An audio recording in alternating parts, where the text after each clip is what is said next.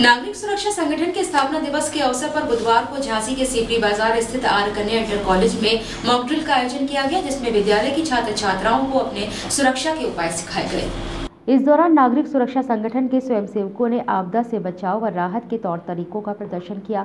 College की छात्राओं को भी 15 दिनों का प्रशिक्षण दिया।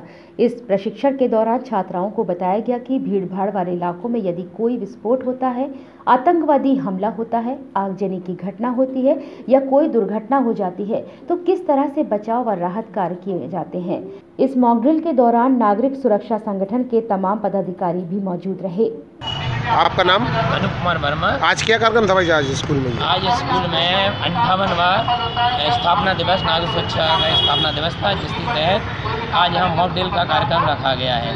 जिसमें आर इंटर कॉलेज के बच्चों द्वारा उनको प्रशिक्षण दिया गया। पंद्रह दिन का उसके द्वारा जो कभी कोई आतंकवादी गतिविधियाँ हो जाएँ घटना हो जाए या बम विस्फोट आग जंगी हो जाए तो उसको कैसे बचाव करना है इसके लिए उन लोगों से प्रशिक्षण दिया गया उसका आज भी मॉडल द्वारा प्रदर्शन किया गया।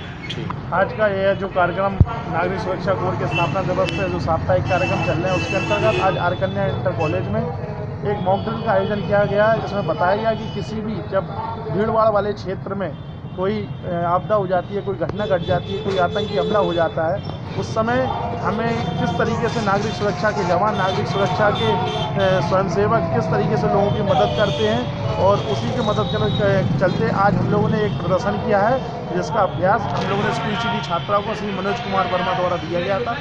झांसी से मनीषली की रिपोर्ट।